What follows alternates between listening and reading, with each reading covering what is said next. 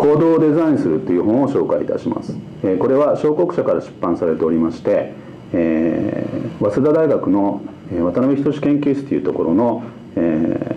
ー、研究をまとめたものです。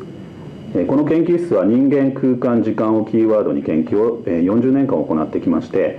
大量のノウハウが研究が詰まっているこれまで行われてきたんですけれどもその中から、え6つの、え章に分けましてえ研究をピックアップして紹介しております。その6つの章は、え居心地人の流れ人だまり集い安全優しさっていう6つの、え章に分かれておりましてそれぞれの章ごとに、え10個程度の研究をそれぞれ項目として、えピックアップしております。でその紹介ですけれども、え、1つの項目章まず章はこのようにえ、左側にあごめんなさいそちらから見るとこちら側ですけれどもイメージ的な写真を、え、掲載し、え、簡単なそれに対する解説。そして各、え、項目につきましては見開き2ページで、えまあ、なるべく簡潔にその項目を、え、説明するページ。でその項目に、え、該当するというかそれを説明する図であるとか写真を、えー、多用して、え、ビジュアルで、え、分かりやすいえ本を、え作っております。これは、え先ほども申し上げましたけれども人間空間時間ということをキーワードに、え全てがまとまっておりまして、え空間は人間のためにあるということで、え一貫してそれそれぞれを説明しております、えーまあ、この居心地ですとか人の流れの中で、まあ、一番一般的に私自身も専門の人の流れっていうところで、えー、簡単に説明しますと、えー、人の流れというのは群衆駅であるとか博覧会遊園地で人がたくさん流れてる様子を、えー、群衆流動ですとか人の流れというんですけれどもそこでの人の振る舞いを、えー、観察しそれらをモデル化しましてシミュレーションするようなそして、えー、建築計画、えー、を、えー、より良い方向に、えー、持っていこうということで、えー、研究を行った結果を掲載しております、えー、これは、えー、人間のことを考えて設計をしたいそういう思いから我々が作った本ですけれども、えー、そういう思いを持った学生さんたちが読んでいただければいいかなと思っております。さっきの本であの、ね、ネタ帳と僕言ってしまいましたけどなんだろうこうもう少し具体的なネタ帳といったら失礼なり なりすぎるかもしれないですけどなんだろうそれこそ今僕のところもあの3年生がこうゼミ配属されて10月からでなんかなんとなくそれこそ人間工学面白そうとは思ってるけど研究って何みたいなこう段階なんですよね。でそのそういうのにで今一生懸命僕はその、まあ、それこそ人間工学以外にどんなことでもテーマにはなるんだよと、まあ、それが意味があるかとかすでにやられてないかとかっていうのは先にあるんだけれどあ、ね、そのやろうとしてるテーマとしては結構こうあのたくさんあるんだよっていう話をちょうど今している最中なんですけどあのそういう意味では学生さんがこうやっぱり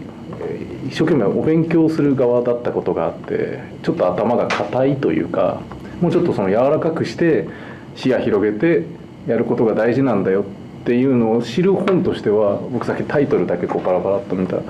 だけの感想なんですけどこう多岐にわたってるという点ではやっぱりすごくこうあの学生さん興味を持ちそうなあの本かなという印象を持ちましたねどうしてもその学校の先生目線になってしまうんですけど。まあささっきの本が手法の本だったらこれねネタ帳っていうのは変だけどまあなんかヒントになるキーワードをコードっていうものをデザイン化していく切り口に様々あるよっていうことの紹介ですね。あと必ずあれですよね。見開きで収まってるという見やすさとあと具体的な研究事例がそこにセットになってるという意味では、まあ、研究紹介でもあるのかもしれないですよね、あとはやっぱり美しいですよね。構成が。構成が。構成が今持ってらっしゃる方がされましたいやお恥ずかしい。お恥ずかしいです。今から考えると結構。これあれ実際際に執筆編集に携わられたお二人に質問なんですけどこの項目出しっていうのはどんなふうにしてやってたんですか？項目出しはまあ、えー渡辺仁研究室の論文卒修論および大会等々の論文の一覧から、えーまあ、とりあえずなんとなく分け始めて、えーどっかの時点でこの先ほど挙げた6つの章に分かれたと。でまあそれと並行してその6つの章に当てはまる、えー論文等々をこう振り分けていったっていう感じです。あ研究を分類してってああそうですね、まあ、いずれにせよその行動をデザインするっていうキーワードで、えー集めたと、まあ、それ以外の研究ももちろんあるんですけれどもそれはちょっと今回これには対象とはししていないということです。この6章の順番って何かあったんですか？いろいろこう決めるにあたり。順番は多分構成作家が最後に映画と知力を結集してやったんじゃないですかね。なるほど。僕がかかった時にはもう決まってました決まってました。うん。まあ、順番はそのすごく考えたわけじゃないけど一応なんとなくはそのキーワード章章のタイトルああ章のタイトル。6章立ては、まあそれは一応あれじゃないですかね。えーやっぱり静止してるっていう意味合いで居心地。ってまあ我々の研究室のイメージなんですけど、まあ、やっぱりこう流れっていうのがすごくうんそれと対流っていうことで第三種の人だまりっていうその2つがメインなんですね、なので、まあ、まず居心地で静止しといて2章3章で流動と対流。でその後はまあ4章は若干その対流に似てますけれども集いっていうことであとは終盤はあの非常時っていうことで安全。平常時じゃないっていうことで後ろの方に持っていったと。で最後は、えーバリアフリー的なユニバーサルデザイン的な、えー優しさっていうことで最後に持っていったっていうまあそういう意図しかないですけどそういう意図はありました。なんかそのタイトル本のタイトルなんですけどな中身見るとどっちかっていうと行動をどう記述するかみたいな研究が多いと思うんだけれどもあえて行動をデザインするというタイトルをつけたのはあの意味としてどうなのかな行動をデザインするのかな。それとも行動というものを、あの捉えることによって空間をデザインするということを言っているのか。行動そのものがコントロールできるっていうふうにちょっと受け取られるような感じもするんだけど、えー行動をデザインするっていうと。日本語としては変なんですけども多分意味合いとしては後者。こうじゃん。で例えば語呂的に行動をデザインするっていう、えー五感で行動をデザインするっていうことにしましたね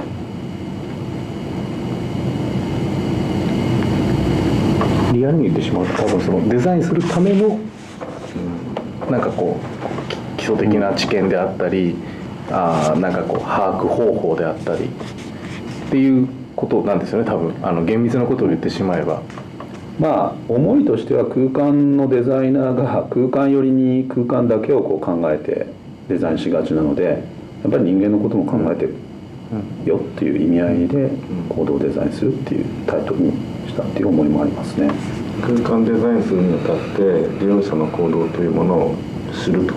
ていうことはやはり、大事だと。えーこの本の中ではずっと一貫してるっていうところですね。これはどういう人たちをターゲットに書かれたんですか？購買層としては。購買層はやはり大学生大学院生建築計画建築の衣装を目指す学生さんたちに読んでほしいっていうことで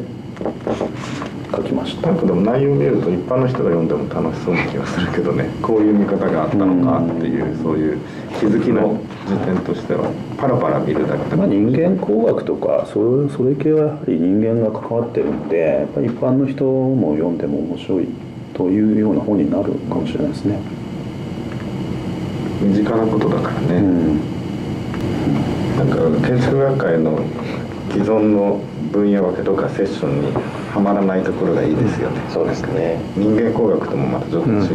うっていうね魅力を持ってて僕は個人的に好きですね。こういう切り口大会は渡辺仁研究室でまとめられちゃうからね。そうですね。群衆になっちゃうことが多いの？あ群衆群衆だったら明確に群衆に入入れてくれますけど。ああるんですけどなんかあのちょっと興味があったのは今お話いろいろ聞いていてちょっと興味があったのはこの1個の研究がどれぐらいのスパンでやられているのか、ああ、はい、がなんかこうあの一一覧表というか要はなんだろうた短命なのも恐ろしいことを言うはい。いやいやだからそれをオープンにするかどうかっていうのはありますけど。え話が違うのかもしれないけど基本的に1年ですね。そうですね。要するにもあそうなんうですか。継続して研究を行わないっていうのがある意味うちのポリシーですね。ポリシーなのかどうかわかんないけどそうなっちゃってるっていう。いやもちろん悪い面も重々感じてはいるんですけれども、あなんかもうその個人のアイデンティティっていうかアイデアっていうかとにかくその個人のアイデアを第一にしようっていう研究室であったはずっていうかまあ今もそうのはずなんですけど。まあか簡単に言うと一人一テーマみたいなそのうん入ってきた学生さん。まあ多少もちろんありますけど、はなんかこう整理計測とかがこうずっと流れていったりもしますけど、基本的にはもうアイデア一発みたいなところはありますね。はあそれちょっと面白いというか。面白いというかなんかね今日思ったんですけど今日いろいろ考えてたら面白いシステムを思い浮かぶんだけど科研費とかはい。考えてて、研究思いつかないなっていう。これはテーマは思いつけれうんそうそう。どだからなんか要は計画研究計画にしようとすると。ちょっと弊害かなっていう気持ちない研究は思いつきでやっちゃいけないよね